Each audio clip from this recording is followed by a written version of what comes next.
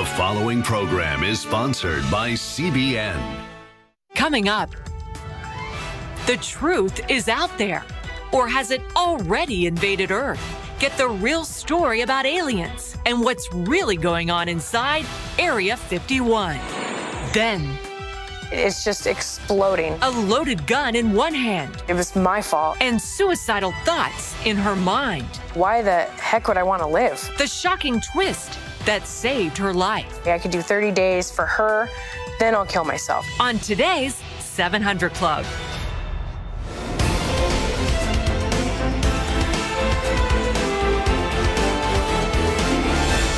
Well, welcome, folks, to this edition of the 700 Club. It's a situation that probably hadn't been seen since the Middle Ages. Rats overwhelming Los Angeles, homeless defecating in the streets, a health emergency. And what are the people doing about it? Well, you probably don't want to hear. Ben Kennedy has discovered something shocking. Public officials are refusing to deal with this horrible epidemic. Homeless advocates say this is a crisis and are even reaching out to the White House hoping President Trump can help. What you're seeing is a row of tents. Those rows make up Skid Row, a 50 block area with the country's largest homeless population that's only continuing to grow. California is experiencing a massive spike in its rodent population. Reform California reports this rampant rat infestation has even caused the spread of dangerous diseases like typhus.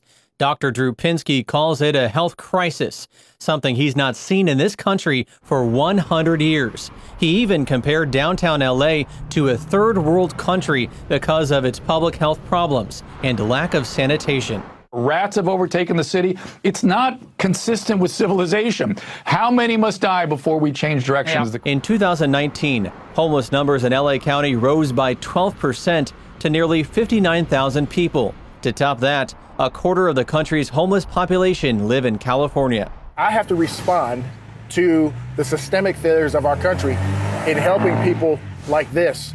And it's not going to be pretty, but it worked. Officer Deon Joseph has covered life on the skids here for 22 years, helping people like Rose who battle drug addiction for more than a decade. God bless you, Thanks to people like Officer Joseph, Rose is now clean. Now I got keys to my home, baby. Yes. How does it feel? It feels good. You can wake up knowing you're gonna wake up and everything's gonna be all right. Has Rose been an inspiration to many well, to, to take the next step? Rose is an inspiration, inspiration to me. I don't know how many people she's inspired in the street, uh, but she's an inspiration to me. She's why I keep doing what I do. Now, success stories like Rose are needed more than ever. Andy, would you consider this to be a crisis? It is absolute FEMA like, Red Cross like, National Guard like disaster. It is an epidemic of homelessness. Reverend Andy Bales heads up Union Rescue Mission, the largest homeless shelter and recovery program in the country. Bales' dedication to helping those in need led to the loss of his leg due to a flesh eating disease he contracted while handing out water to the homeless. After you lost your leg, did that ever deter you from getting back out there to help people? No, I actually, um, I actually missed four days of work because I had my leg taken off. What will Jesus do miraculously through us today? Without that faith, we couldn't do what we do. For many on Skid Row, the missions here are the only hope of growing out of poverty. We've been here for 25 years in the neighborhood. We've never left. Reverend Matthew Barnett's Dream Center is a Skid Row mainstay helping those facing abuse, addiction, and poverty. I think the goal is to try to get people out of survival mindset because people get desperate when they're trying to survive. Survival for this part of East Central LA may depend on changing laws in D.C. Let's change laws and make it easier for their loved ones to gain conservatorships over them and take control of their lives so they're not in crisis or and walking down the streets of Skid Row. Now, the LA Homeless Services authorities report that women and children make up 40% of the homeless population. One more reason why Officer Joseph says more shelters are needed to help families, kids, and the elderly. Ben Kennedy, CBN News, Los Angeles. The biggest city in America, the biggest homeless population. Who ever heard of such a thing? third world country, flesh eating bacteria. Well, in other news, America's debt level is growing to levels not seen since World War II. John Jessup has more on that. Pat, that is right. The annual deficit for fiscal 2019 had been projected to reach $896 billion. According to revised numbers by the nonpartisan Congressional Budget Office, it will now reach 960 billion. Next year's deficit is expected to top a trillion dollars. In the next decade, the government is forecast to add $12.2 trillion in deficits. The CBO says a recent bipartisan agreement to avoid a government default is partially to blame. That agreement lifted caps on discretionary spending over the next two years. Well, more troubling news for the economy and particularly on the jobs front. The Bureau of Labor Statistics now says 500,000 fewer jobs were created over the past year than initially thought. Earlier reports said the economy added about 230,000 jobs per month between March 2018 and April 2019. New information suggests the number is closer to 180,000 additional jobs per month. Those updated figures are based on state unemployment insurance records. The original data comes from surveys of hundreds of thousands of work sites, just as economists predict a recession before 2021. President Trump's latest move to curb illegal immigration is coming under fire. While it would keep families together, it would also detain them until their claims are processed. CBN's Jenna Browder has the story. The new DHS policy would effectively end the practice of catch and release. Critics say it would cause more problems than it solves. Right now, we have a million, more than a million plus backlog in terms of the immigration courts. Immigration advocates question the practicality of the move. Most likely it's going to take several years. Um, and then what the government's trying to do is say all of those people who are in detention, all the families uh, who are in detention should be detained indefinitely while that process is pending. The policy, announced Wednesday, would end a previous rule that children detained with their families could be held for 20 days. Now families would be kept together and held until their court date. Acting DHS Secretary Kevin McAleenan defended the move and also unveiled plans for new housing with medical facilities, soccer fields, and even access to video conferencing for court proceedings. He said the old agreement basically served as an incentive for illegal entry. Human smugglers advertise, and intending migrants know well that even if they cross the border illegally, arriving at our border with a child has meant that they will be released into the United States to wait for court proceedings that could take five years or more. Democrats are also blasting the change, accusing the president of wanting to punish children. This president is absolutely determined to carry out maximum cruelty with little children who are brown. Speaker of the House Nancy Pelosi adding in a statement, quote, "The administration is seeking to codify child abuse." President Trump says congressional inaction is creating the crisis at the border. If the Democrats would meet and we could fix the loopholes and asylum, which is what you're talking about to an extent. But let me just tell you, very much I have the children on my mind.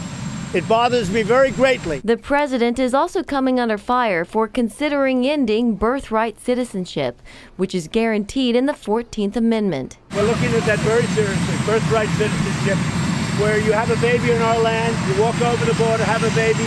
Congratulations, the baby's now a U.S. citizen. We're looking at it very, very seriously. The new rule would put more pressure on Congress to act. It would take effect in 60 days, but it already faces quite a few legal challenges, so it could take longer. In Washington, Jenna Browder, CBN News. Thank you, Jenna. Pat, back to you. It's simply amazing that Congress refuses to act on this matter. And this whole thing of birthright citizenship, they say it's, quote, guaranteed by the 14th Amendment. But I'm not sure that the guarantee is exactly as stated. It's, it's if somebody is born to a natural uh, to an American citizen, that's one thing. But the idea is somebody sneaks across the border and has a baby. Suddenly, that baby is a citizen of the United States. It makes no sense whatsoever. Should be changed, and these other rules should be changed. We cannot be a dumping ground for all of the poor and the needy and the dispossessed of the entire world. Uh, it'll destroy America, and any intelligent person realizes that. So something has got to be done, and done quickly. But Congress refuses to act. I think they think that these people coming in illegally and otherwise, when they give them citizenship, the Democrats will own them as their uh, potential uh, voting bloc, and they they want that. But it's terrible. I mean, it's bad for America, and we shouldn't be playing politics with people's lives. John. Pat, it is possibly the longest running gospel crusade in the nation. The Southern California Harvest Crusade with Pastor Greg Laurie marks its 30th anniversary this year. It begins Friday night and includes performances from Christian artists like For King and Country, Jeremy Camp, Lecrae, and Chris Tomlin. Pastor Laurie told CBN News that it's all about sharing the gospel of Christ. It's like a feeling of celebration, almost like a big Christian party. But I don't mean to trivialize it in any way, because when the moment comes for the gospel to be preached, people are quiet. I mean, it's amazing to me to see a stadium fall silent to hear what the Bible has to say. And the most important moment is when we extend that invitation and we see thousands of people walk down on that field to make a profession of faith to follow Christ. And starting tomorrow night, our viewers can see the services every night on the CBN News Channel platforms.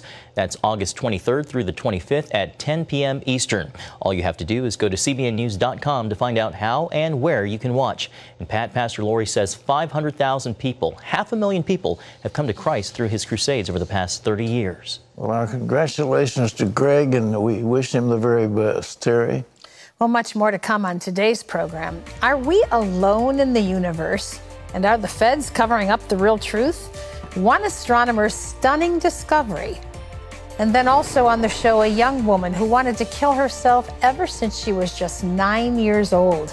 Then one day she grabs a gun and watch her dramatic decision. It's all happening when we come back.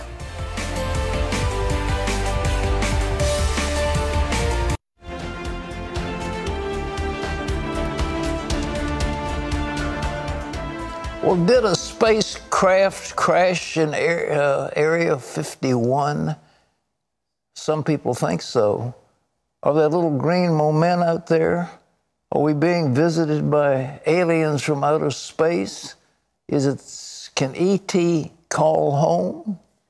Well, people want answers. A tiny Nevada town is bracing for a different an invasion of millions on social media who say they'll storm Area 51 because the government is telling people to stay away while others want to know what they're trying to hide.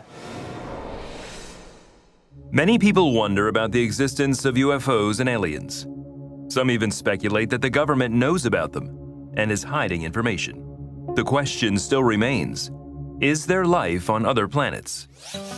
Dr. Hugh Ross is an astrophysicist who believes in God. You have to have a just right star where the planet's a certain distance from that star. The planet has to be a particular size. Dr. Ross has examined the farthest reaches of the universe and offers his ideas about life on other planets that are scientific and biblically based. Well, Dr. Hugh Ross is here. He's written a book called, quote, Lights in the Sky and Little Green Men. Dr. Ross, it's so good to see you. How come you're into this stuff? Well, all began when I was 16. I was uh, organizing the Astronomy Club in Vancouver, Canada, uh-huh. to have a booth at the Pacific National Exhibition, and they put us right next to the Flying Saucer Club. So without any intention, I wound up becoming, quote, an expert in UFOs because people would talk to them and say, what do you think? and every university where I served at, I processed the UFO reports. Well, what are they? Is, is there any uh, life out there, or is this all this just fiction? Well, I mean, we are aware as astronomers that there could be as many as a trillion trillion planets in the universe. Uh-huh. And uh, they've now discovered and measured over 4,100 planets beyond the solar system. But what's interesting is that none of them are like any of the planets in our solar system, mm-hmm. which led to the interesting discovery. Every one of the eight planets plays a critical role in making advanced life possible here on Earth. So while many astronomers think maybe we can find microbes on other planets, the idea that we're going to find life like us, I mean, that we now know that that's an extremely remote possibility. Well, you know, your book about our incredible planet is so moving because you go into detail about all the wonderful things that we have on Earth that other planets don't have. To support life. It's it's unbelievable. You, you, your studies in that is is so f- much uh, Well, a faithful. lot of my peers focus on the water habitable zone, the Yeah. liquid water habitable zone, but there are 12 other known habitable zones. And for a planet to be truly habitable, it must simultaneously reside in all 13 of those zones. hmm And there's only one planet that we've seen in the entire universe that does reside in all those zones. And I'll let you and your viewers guess which one that is. Well, you've gone into detail though in this book about about all the people who believe in Area 51, about little space invaders of strange uh, people with big heads and weak bodies, and and ET calling home and so forth. Well, how has this spread so widely in our society? Well, millions of people claim to have had encounters with UFOs, and the vast majority you can explain as simply natural phenomena or human activity or a hoax. But there's a 1% residual that actually you can show is real but not physical. Now, I had Carl Sagan as a professor briefly when I was at the University of Toronto, and he denied UFOs totally. That's because his worldview did not permit the existence of non physical reality. As a Christian, I realized God created two different species of intelligent beings humans that are physical and real, mm-hmm. and angels that are real but not physical. And when you examine this 1% residual of the UFO sightings, you see that they consistently violate the laws of physics, but nevertheless you can prove they're real. For example, there are literally hundreds of places where UFOs have crashed into the ground. You go to the site, the ground is depressed, vegetation is damaged, snow is melted if there's snow that's there. Uh, obviously, something real happened there, but there's no debris, there's no artifacts. And when the UFO is observed coming through the atmosphere, let's say 18 to 25,000 miles per hour, no sonic boom, no heat friction. If it was a physical object, you would get a sonic boom and heat friction, and there'd be debris at the crash site. So we're dealing with something that obviously is real, but it's not physical. And I'm not the only physicist that's saying this. Uh, I know of a half dozen other physicists and astronomers who are not believers who draw the same conclusion that I do that whatever is behind the occult and witchcraft and demonology is also behind this residual of the UFO encounter. Residual. What do angels do? What, what do you think? Why isn't there some evidence of their of their presence? Well, because uh, I mean, there is evidence. I'm saying that there's clear evidence that something real is happening. Uh, and there's evidence that it's not physical. They violate the laws of physics, so it's non physical reality. Jacques Vallée, who is not a believing uh, UFO investigator, says it's interdimensional phenomena.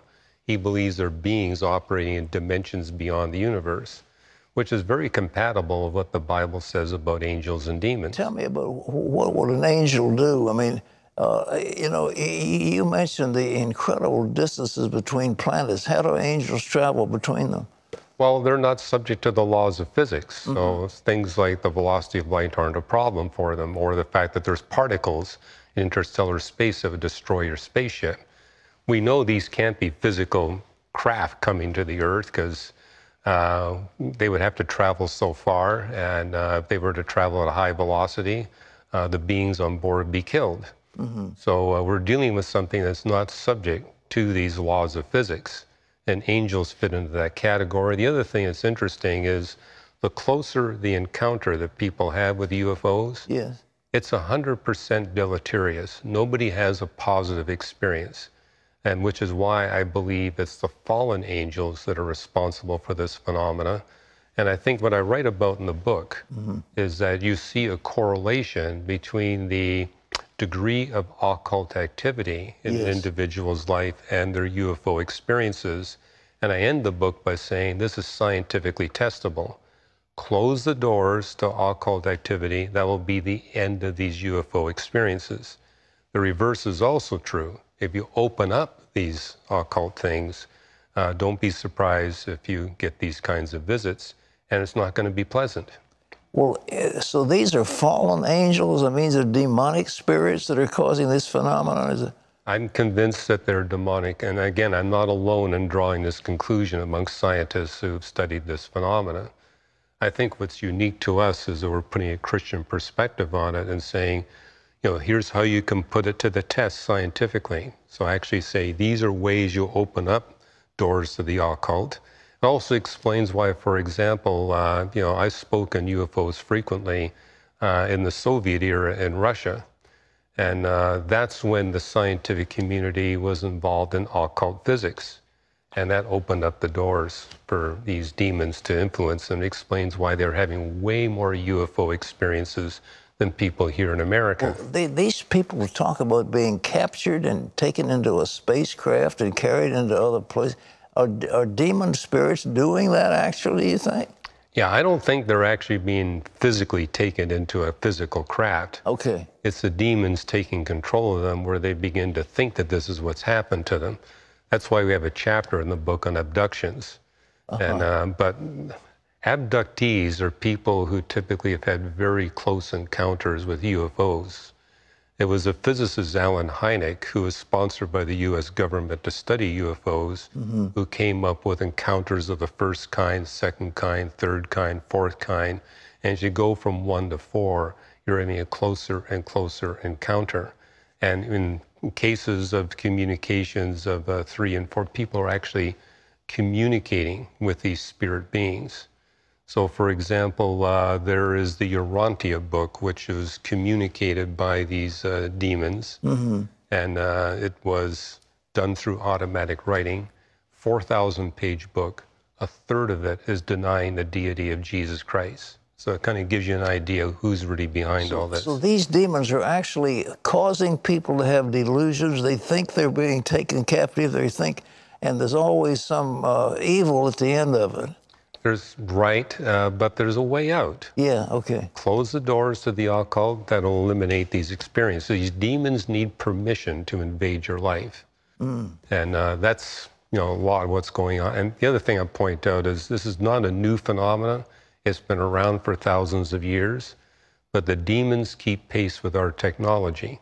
Yeah. UFOs 100 years ago were slow moving dirigibles in the atmosphere. Mm-hmm. Uh, now they're flying saucers at uh, 18,000 miles per hour.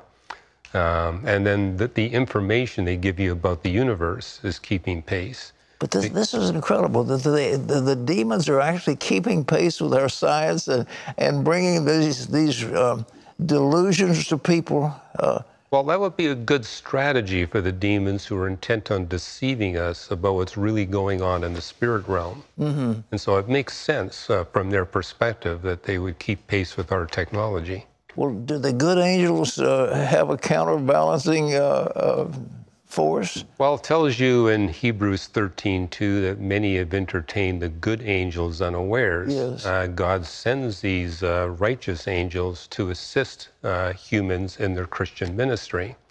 And uh, they come and go. Uh, but likewise, they're also part of this non physical reality, but they're on God's side as opposed to Satan's side. Well, you remember when they went into the promised land that Joshua uh, you know, found the, the the army of the Lord was there with him, and he, that was angelic. So it was he, angelic. There, yeah, as I said, God created two different species of intelligent beings. Incredible, incredible.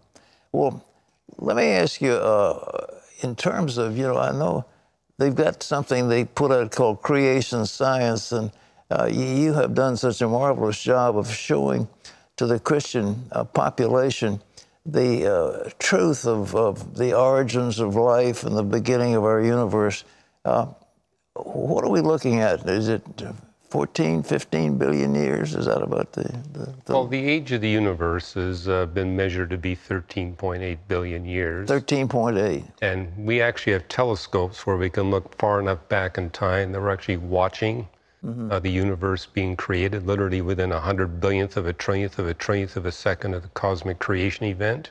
Incredible. Explains why we astronomers are coming forth with such compelling scientific evidence uh, for the God of the Bible and the Christian faith, because we can directly observe events in the past.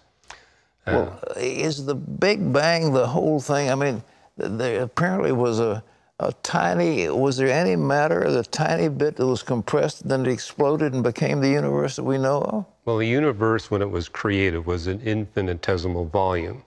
But God created it dynamically, where it was expanding right from the cosmic creation event Mhm. and continues to expand to this day. But one of the compelling evidence is that there's a supernatural being designing it. It's expanding at exactly the right rate, at exactly the right time throughout all of cosmic history to make advanced life possible on one planet. I mean, what's behind the UFO thing is the idea there's all these planets with intelligent beings on it. And uh, we now know a couple of papers just got published making the point if there is intelligent life in the universe, it's got to come after us because it takes a minimum of 13.8 billion years to prepare the universe for advanced life. So we have to be the first of the physical intelligent beings. the, the entire universe. That was your premise, and I think it's so fascinating that this enormous universe was was was designed to, to have life here on this one planet, and and we're the uh, uh, You epicenter. literally need the whole universe to be exactly the size that it is and the age that it is, with all the matter and energy that's in it, to get one planet on which advanced life is possible. The whole universe exists to make our existence possible. You know, that's an overwhelming statement. And so, Well, it tells you how much God must care and love for us that He was prepared to create all this stuff to make our existence possible. So we're pretty special. So, you know, I was reading in Paul talking about that the church, uh, to show the principalities and powers, the wisdom of God, that, that it was centered in the church. So the Christian people are pretty important, then, aren't they? They are, and we humans are very important, and the redemptive message there, or that God is trying to achieve, is crucial. I'm writing books now making the point that every event in the universe, Earth and Earth's life, and every component of the universe, Earth and Earth's life, was designed to play a role to make possible the redemption of billions of human beings from sin and evil. I believe the whole universe was created with that fundamental purpose in mind.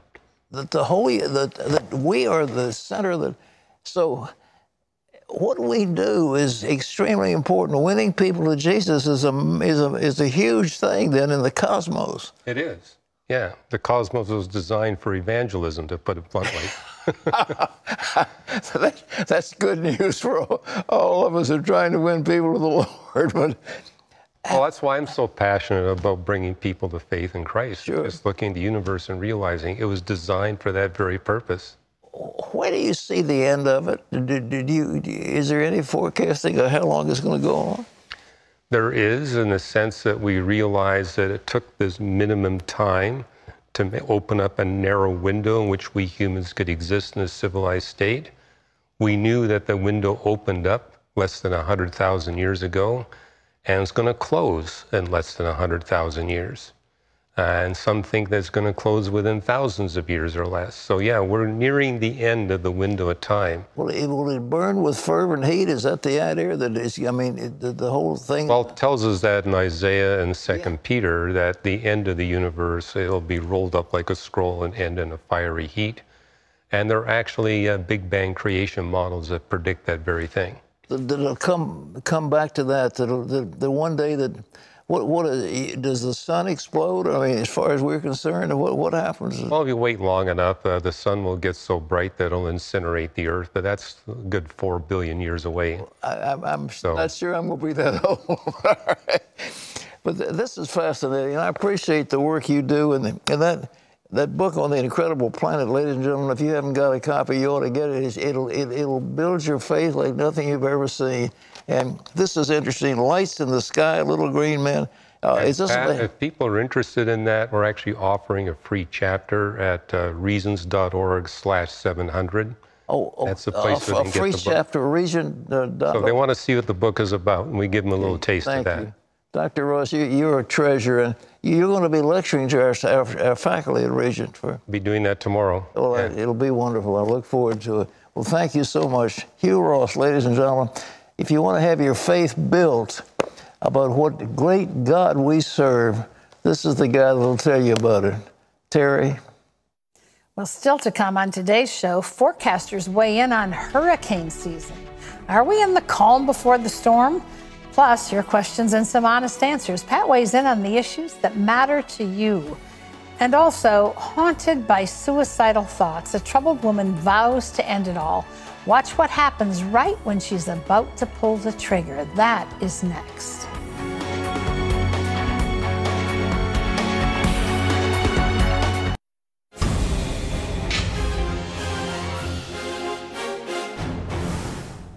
Welcome back for this CBN News break. Well, we're just over a month into hurricane season, and so far, so good. The Atlantic Ocean has remained fairly calm.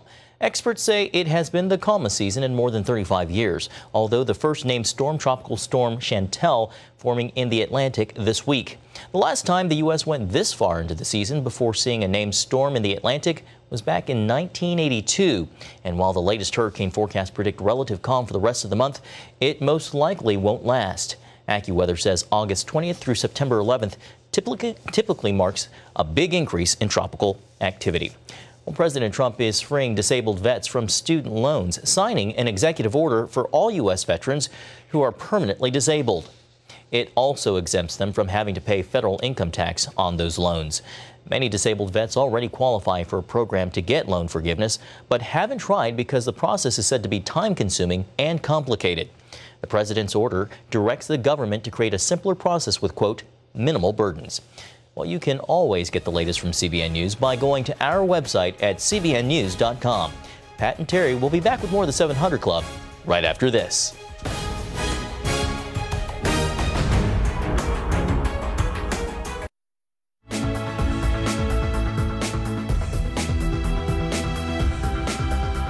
Like many other nine year old girls, Eli played with dolls, but she wasn't hosting tea parties. She was play acting their suicides. For years, Eli wanted to end it all, and one day she had a plan to do just that. I had my storage key, and I sometimes would just clench it because I didn't know if I was going to make it that day. The key Eli Goodenough held so closely would open the door to the ultimate escape because behind it was a loaded gun. Why the heck would I want to live? I always internalized everything, so not only was I in complete torment all the time, but it was my fault, and I'm never going to get it together.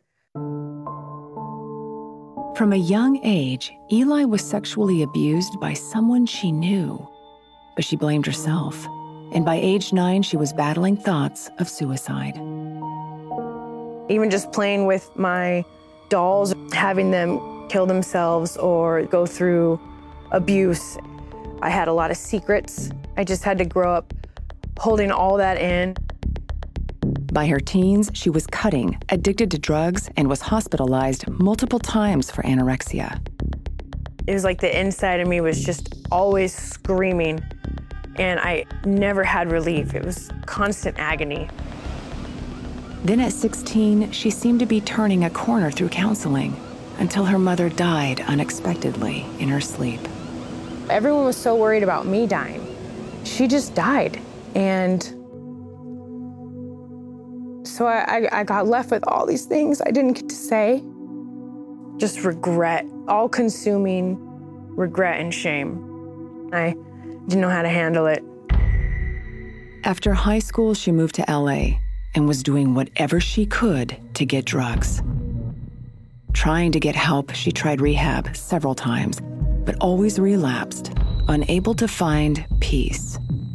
I was always tense. It's like if someone took a shotgun and just blew a hole through me, trying to stop bleeding, just this unrest. I just couldn't even imagine living any longer. So, she got a gun and put it in a storage unit, waiting for the day she had the courage to turn it on herself. But as much as she wanted to die, she knew what it would do to her family. Living was actually harder than killing myself. I was constantly living just so I didn't hurt other people, but it was never for me. In her decade long cycle of addiction and suicidal thoughts, Eli also contracted HIV. It just left me completely baffled and feeling even more hopeless. Then in 2012, Eli had a flashback to her childhood trauma, followed by a seizure. My body can't stuff one more thing. It, it's just exploding, like I'm done. The loaded gun called to her. So, with the key in hand, she went to her storage unit. But something stopped her. If you're really gonna do this right, you should go back, see your family, get some closure, really for them. Looking sickly and gaunt, she went to visit her dad and his girlfriend, Debbie, who begged her to go to rehab. She was just weeping for me and it was it was just profound and so I agreed. I was like, "Man, okay, I could do 30 days for her, then I'll kill myself." So they took her to Captive Hearts, a Christian rehab home. There, Eli saw a familiar face. It was Chaplain Judy Bowen, a counselor she met 10 years before. I said, Eli? And she looked at me and her face lit up and she said, Chaplain Judy?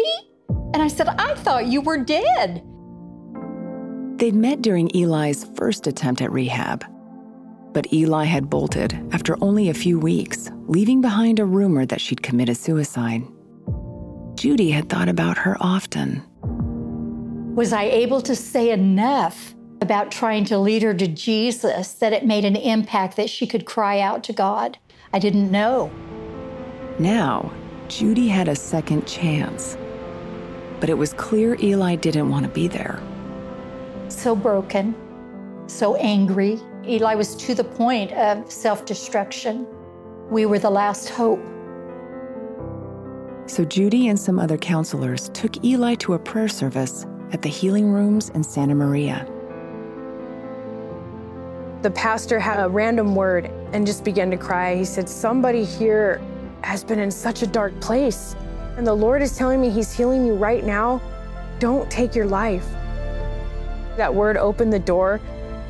I never felt so free and loved in my life. I just accepted Jesus. I completely surrendered to Him fully. God didn't care about any of it. My problems, like, it, just, it didn't even matter. Eli recovered from addiction and would no longer be haunted by suicidal thoughts. She says God also healed her of HIV. I always tell people God is a show off, and He completely blew my mind. What had been a tombstone for Eli turned into a stepping stone for her future. It just showed me what He can do for every one of us if we allow Him to do the work. Through Eli's testimony, her bond with her family members has strengthened, and they have come to know more of Jesus Christ. Eli is now married with two children, and as a musician and writer, she points others to Jesus. Every lie the enemy's told you, it's shameful. You're not good enough. You should die. All those horrible things, it's because you have a destiny. You're still alive, you're a miracle, and you just have to reach out to God, and He loves you, and there's it's not a mistake you're watching this right now. Um, this is exactly for you. It is for you because God wants you to know you have a destiny. He clearly says it in His words. In His word, He says, For I know the plans I have for you plans to prosper you, not to harm you, plans to give you hope and a future.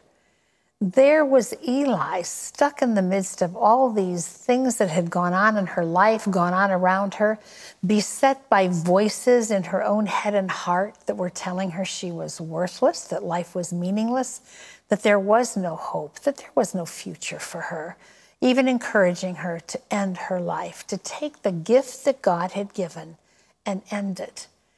You know, we talked a few minutes ago on this program about demonic activity. The Bible says your enemy, who is also God's enemy, comes around you like a, a, hungry lion ready to devour you. Listen, be smart enough to know that. These voices, this, this despair, this anger, is not just something you've conjured up inside of you. It's steaming all around us. And that's why the Bible also says, choose you this day who you will serve. Who will you serve? Will you entertain those thoughts? Will you let them in? Because you can stop it. You can choose to stop it right now. And that's why Eli's story is so important. If you're experiencing that kind of, of depression, that kind of, of lack of, of uh, forgiveness, that kind of anger and animosity, that kind of hopelessness, God wants to change all of that for you right now. Listen, God created you with a plan and a purpose in mind. He even says that He created us in His own image and likeness. And all of this, everything that's wonderful, everything that's amazing about His creation, is because He loves you so much. Listen, you can get rid of one and grab hold of the other today. It's a choice. You make the choice, but once He comes in, it's His power that heals. It's His power that gives you the courage and the strength to forgive. It's His power that replaces your anger with a love that Eli described as indescribable. It changes you. Would you do that today? Would you give Jesus Christ the same opportunity you've given everything else in your life? Let's do it together right now. I'd love to do it with you. I'd love to lead you in that prayer. It is so simple. Come to your Father today, not an earthly Father who has failures and shortcomings, but a heavenly Father who has known you from before you were formed in your mother's womb. Let's pray together. Jesus, I am so broken. I am so needy. I'm empty. I have nothing more to give. I have desperate, desperate need to be free from this. Today, I'm choosing you. I'm letting go of past history, people who have wounded and hurt me, disappointed me, not been there for me. I'm letting go of behaviors I have clung to that have defined me. I want to be defined by you. I want to be defined by you, the one true God who knew me before I was formed in my mother's womb, who created me with purpose and intention, who knows my sins and my shortcomings and my failures and forgives me, forgetting all of it as far as the east is from the west. Today be my God.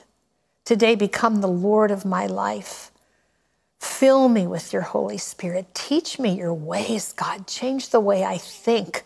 Open my ears to hear you when you speak to me. Open my eyes to the beauty of what you've created around me. Open my heart to the possibility of all that life with you offers. I give you all of it today, Lord, the good, the bad, and the ugly. And I'm asking you to make me yours. I want to live for you. In Jesus' name I pray. Amen. Listen, if you've prayed that prayer, you've begun an incredible journey. We've got some information we'd like to send to you because what do you do now? You've prayed the prayer. How do you grow? Well, we have a packet that Pat's put together for you. It's called A New Day, and it's yours for the asking. Our number is even toll free. It couldn't be simpler. It's 1 800 700 7000. You just call and say, I just prayed that prayer with that lady on TV, and I'd like the New Day packet. We will send it out to you absolutely free of charge. So please call now. You've begun a great adventure. Well, up next, we've got questions from all of you and some honest answers. Sharon says, I win large sums of money gambling occasionally. Should I tithe on those winnings? We're going to tackle that and more, and it's all coming up.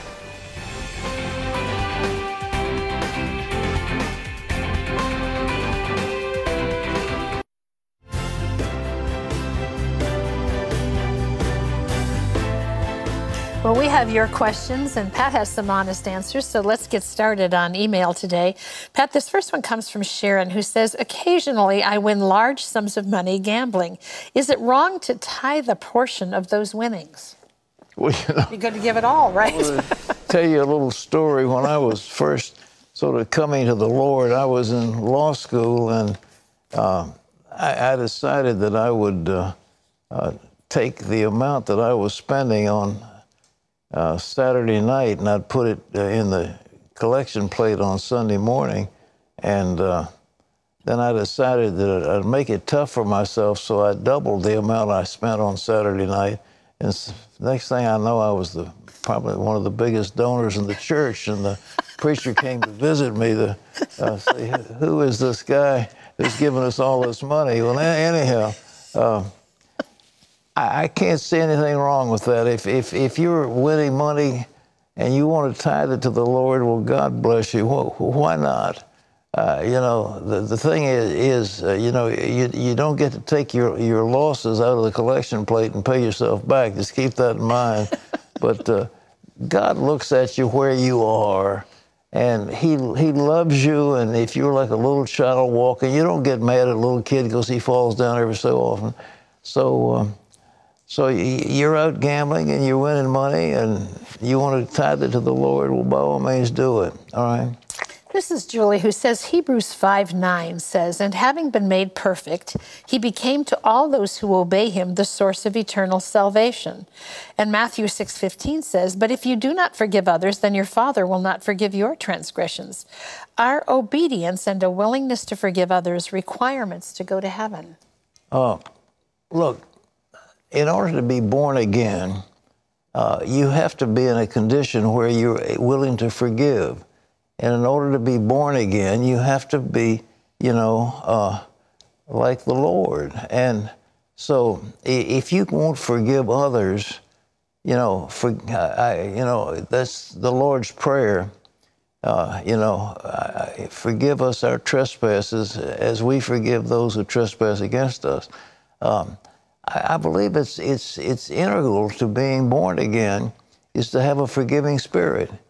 And if you hold grudges in your heart, it's going to be very hard for you to be in a condition of being born again because, you know, you have to forgive.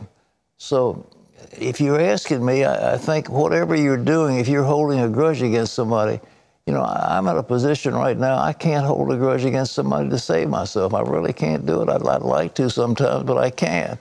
I, I just can't do it. And I, I think in relation to you, uh, the same thing is true. The Lord makes it very clear. So if you're harboring resentment in your heart towards somebody and you refuse to forgive, you're on dangerous territory. So you ask me about going to heaven and so forth. That's in God's hands. But I'll say, if I were you, whatever it is, I mean, whoever hurts you, your father hurts you, your mother hurts you, your professor hurts you, your employer hurts you, whoever it is, forgive that your heavenly Father might forgive you. All right? Okay, this is Brianna who says Romans 12 15 says, Rejoice with them that do rejoice and weep with them that weep. What does that mean? Well, what it means very simply is share, have empathy you know, if you're dealing with other people and you you want to love the Lord, you've got to uh, enter into the situation of people around you.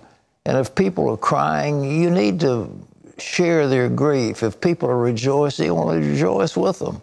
And you don't say, well, I, am envious because he's happy and I, I'm, I'm sad, you know, but have empathy is what it says. And I think that's a good word for any Christian. This is Linda Pat who says, I watch the 700 Club every day. I have never heard you talk about if it's okay to watch soap operas as a Christian. There are two that I watch every day. I'm sick and cannot work, so TV has become my friend. I have heard several different answers on the subject and don't know what to believe anymore. What are your thoughts? Well, again, uh, it's drama. And, you know, I, I, once upon a time wanted to have a soap opera channel for for the Family Channel, so I, I can hardly say that it's sinful to watch soap operas. But um, uh, if the, the trouble is, some some women, for example, they watch some mean so and so in a soap opera, and then they identify their husband with that mean so and so, and so when he the poor guy comes home, they've got that attitude toward him, like, how could you be so mean? And he, I haven't been mean. Well, that guy on the camera it was. So be careful when you watch those things that you don't identify with the characters because it's fictional. And it, it, you have to remember that, all right? Linda, Lydia says, I have a question, Pat. Uh, you said that we will have assignments in heaven. I don't want any assignments. I just want to bask in God's love, lay on the beach, swim, eat fruit, or some equivalent of that. What's up with that? I hate to tell you, you're out of your mind. Uh, I tell you, about two or three days of that, and I'd go out on my, my gourd. I've got to be active and pursue things. I mean, let's face it, I'm crowding 90 years old and I'm still here on the television. I'm running a university and doing the, and writing books. You know, you we have to be active. And the idea that you have useful employment, it's the bad things that make life hard. But there's so much good that we can do, and you should be challenged. The idea of lying on a beach the rest of your life and sitting in a rocking chair, you're out of your mind. Don't think of that. It's horrible. We leave you with this power from Joshua Be strong and of a good courage, for the Lord your God is with you wherever you go. For all of us, this is Pat Robertson. See you later. Bye bye.